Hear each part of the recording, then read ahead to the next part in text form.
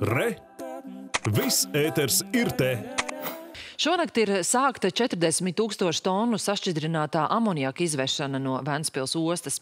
Tiek rauts pirmais kuģis uzņēmuma Ventamaniaks teritorijā.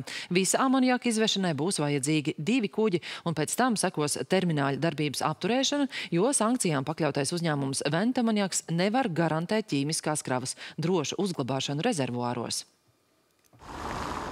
Šonakt Ventspils ostā sāka kraut pirmo kuģi, kas izvedīs bīstamo kravu no uzņēmuma Ventamoņaks. 20. maijs bija noteikts kā beigu datums, jau otro reizi pagarinot valsts vides dienesta doto termiņu lēmuma izpildē.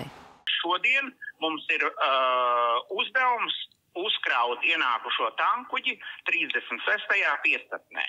Šonakt 20 minūtes pāri 12. uzsākām kraut tankuģi. Šodien līdz pulkstenis 17. šis tankuģis būs uzkrauts, un līdz pulkstenis 20. viņam ir jādos, jādodas ārā ar uzkrauto kravu no ostas.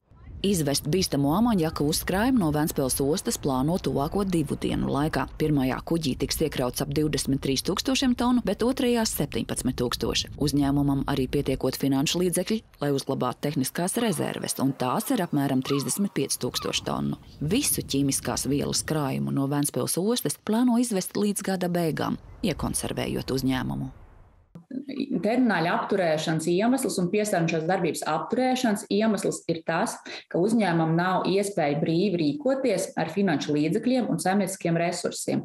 Tiklīdz šis apstākļus izmainās, valsts vidas dienests atcels savu lēmumu un dos iespēju uzņēmumam atjaunot šo darbību.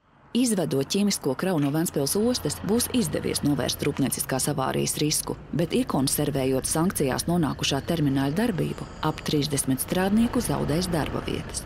Termināla darbības atjaunošana būšot iespējama, skaidro valsts vides dienestā, bet jo vēlāk tas notiks, jo dārgāk izmaksās. Gonta Pūrniecina Žodziņš, Kurzems televīzija.